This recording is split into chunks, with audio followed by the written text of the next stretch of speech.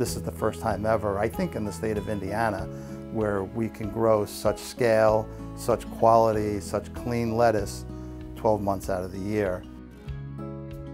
We're growing a plant 365 days a year, so it's not like a field where it's, you have like a down season like that.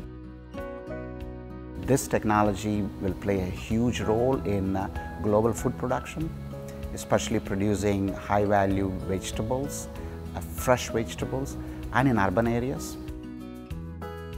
According to the Indiana State Department of Agriculture, Indiana is the ninth largest farming state in the nation, with over 94,000 farmers working nearly 15 million acres of land.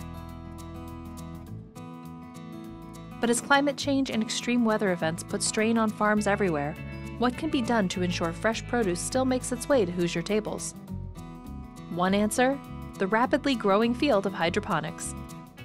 Hydroponics is the science and art of growing plants in water, but it's just not pure water. You have to add a lot of nutrients to water, and also the very important thing is the water should be enriched with oxygen. The, the way hydroponics works is, is we are essentially replacing the ground, the dirt, where a normal farmer would cultivate plants, and we're replacing that with water and nutrients. We use groundwater, we run it through an RO system to clean the water and take out the minerals that we want to take out, and then we add the nutrients that the plants like. A big part of uh, controlled environment agriculture is the fact that we can kind of protect the plants from extreme weather. Obviously we can't protect from maybe tornadoes or something like that, but we can do our best. Uh, extreme temperature, we can, we can handle that with cooling systems. A big part of it is just being able to grow all year round. Take lettuce, for example. Nearly all lettuce produced in the United States comes from California and Arizona, namely the San Joaquin, Imperial, and Yuma valleys. So if they're in, say, Yuma, Arizona, growing lettuce and it starts to get very warm, unseasonably warm, then they're going to have to use more and more water, which Unfortunately, water is a little bit more scarce than it is up here in northwest Indiana. We've got plenty of water.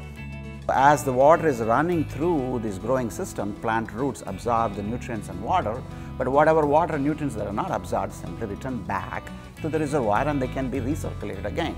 This is not the case in the natural outdoor field conditions. The moment you apply water to the soil, there is, there's no way you can retrieve it back. Our research shows that we actually can grow similar quantity of crops, but by just using a third of the water compared to outside field production. Jonathan McCullough is the head grower at Pure Green Farms in South Bend, a commercial hydroponics facility that grows and distributes fresh greens throughout the region. Big part of it is just being able to grow all year round, and that's how you can continuously scale a business like this and continuously push out yield out the door. We can pack in many, many crops into our greenhouse and keep churning them out. Um, you know, sometimes upwards of 7,000 pounds a day of uh, leafy greens. The value that we bring is that we can grow it like right near a city center and get it to the consumer pretty quick, uh, sometimes within a, the same day. We're able to do that because we can control our environment. We're in a good position locally and we're always trying to get the word out, especially to fellow Hoosiers that, hey, we can get fresh lettuce that's grown right here in the state of Indiana. If you look at the Western countries and developing countries also, a huge shift is happening towards population migrating towards urban areas. Now we are building cities, uh, but are we building cities such a way that we are also properly planning to produce and provide a lot of fresh quality food to the growing population? I don't think so. And so this vertical farming system provides an opportunity to grow food locally in small areas. Now we can grow food at 20, 30 levels. What about the environmental toll of hydroponics? After all, climate controlled high tech greenhouses consume massive amounts of power. Well, there's no one size fits all answer to that question. But in Indiana, at least, locally grown leafy greens generate significantly fewer emissions than those made by the trucks and trains that ship products to Hoosiers from across the country. I don't believe that hydroponics is going to replace field production, uh, but it is going to support the field production and to achieve that overall goal of producing high quality, fresh, nutritious food and making the food available to everybody in the future.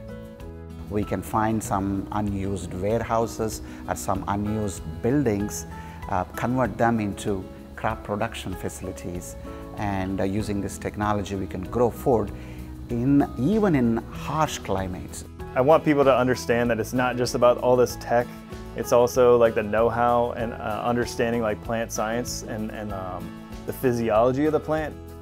The overall goal is to increase the, the health scores in, in, in our state and, and also in the country. Uh, we, we believe that this, this, this particular concept of hydroponics can play a crucial role in the overall health of the community. The great thing about what we're doing here is we're making fresh, healthy food accessible to people locally. We just love it when people eat healthy because eating healthy is, makes for a better life.